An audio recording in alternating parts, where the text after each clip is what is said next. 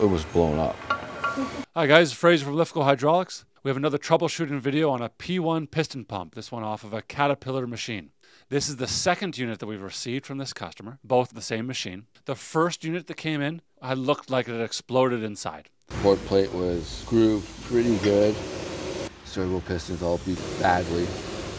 And the shaft is now two piece. That's where the pistons, you can see where once all the head's been snapped off, the round part came in here and just tore it up. As you can see, a lot more pull off on the pistons. That's Lloyd's sense of humor. He's probably dying of laughter on the inside. He's referring to the pull off where the shoe starts to separate from the pistons. It's just crimped on. So over time, or if too much force is on, it becomes loose. These ones, missing entirely. The customer is saying, ran for a day and now it gave out no pressure. So now we have to troubleshoot and see what the issue is.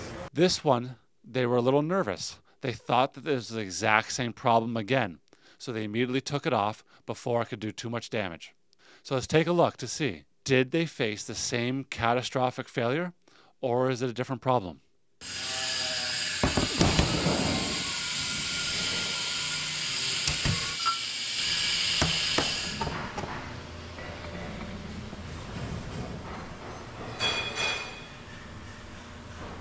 That seems good.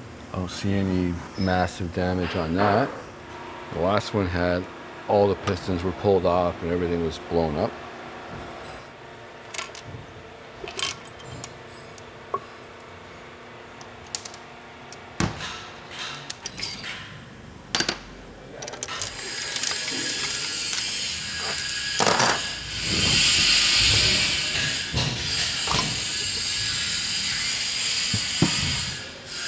No.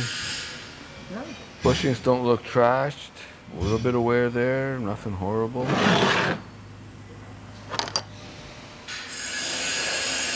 No pull off on that one. Don't feel any pull off on any of the pistons yet. Nope, no pull off. Servo piston looks good.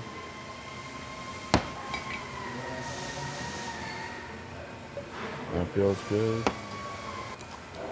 So that spool is free. It's not jammed up. That one's free. But, you know, you just want to make sure none of the springs are broken. I'm not saying this is what happened, but there could be a giant gouge between the two or a piece of something went through it. But we'll know as soon as we put it on the test bench. So you can see after I think it was four minutes on the lapper. I don't see any more of that wear that was on there. When we check them for flatness, they will clean up fine. The three basics are pressure comp, load sense, and remote. So this is a load sense with a pressure comp. If the system needs 1,000 PSI, and this is set for 3,000 PSI, it'll do your 1,000 PSI at full pressure, no problem. Now, I don't know if the customer was messing around with it, but this is loose. Hmm. A loose comp screw. That screw tightens a spring and is required for the compensator to function properly. That should be set, and then a lock nut should be put into place to stop it from moving. Uh, yeah, basically all I'm gonna do is I'm just gonna make sure that my preload pins are all the same. Pull the barrel, take a look inside, make sure there's nothing inside the barrel that would cause it to stay stuck, which I can't see happening. Wash everything, put it back together and test it. A piece of contamination half the size of a grain of sal- sand or salt can cause the pump not to work. Yeah. So we wash everything, clean everything, make sure it's all clean, check it for flatness, bring it all back to spec, and then reassemble. Well, they kept a very open mind. They didn't say, aha, there was the problem. It was this loose screw, because what if there's something else going wrong? Complicated issues arise when there's multiple problems. So, good troubleshooting is isolate one and then you keep an open mind for anything else. But that was it. It was that loose compensator screw. Looks like they didn't tighten it with a lock nut, and the rattling of the mobile equipment would have rattled it loose. But they did the right thing by pulling the unit off and getting it inspected before there could be any serious failure that could damage other components. As part of our support of the Parker products, we waive the labor and the testing of this, and it also gives us good material for our videos. Having their compensator backed all the way out and loose would cause no pressure, which is what their complaint was, and that's what it did on the bench. Okay, so uh, before a grenade went off inside it, yeah, This one, it looks like it was fiddled with maybe, and they couldn't get it back into it. yeah. It almost looks like it was set at a thousand. They put it in somewhere, had it running fine. They probably, when they adjusted the compensator, didn't lock the set screw in, drove that unit somewhere to get it someplace to use it, and the compensator backed off with the vibration of travel.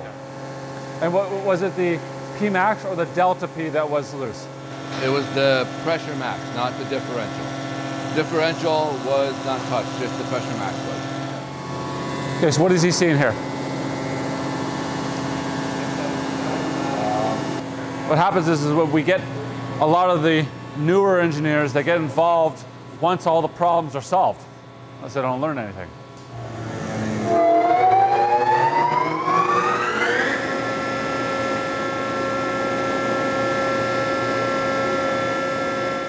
It's one of those things where if everybody knew what they were doing, we wouldn't have a job. So, always better to err on the side of caution if you don't know and you don't want to f- with it, send it in. So, no, it was not the same issue as the first unit. This one really wasn't really much of an issue. They had a- an adjustment that came loose and it just needed to be tightened again. It could have been done on the machine. No harm, no foul. You took the unit off, you sent it to us, and we didn't charge you for the labor or the testing, and we made a great video of it. So thank you for doing the right thing. We just got these bi hydraulic shirts in. Thank you so much for watching the whole video. Send us an email, sales at lifcohydraulics.com, with your address and size, and we're going to give a few out. The pumps and motors that you see on these videos, they're your pumps and motors. Send them in. We'll make a troubleshooting video, and we don't charge for labor if we're making a video on it.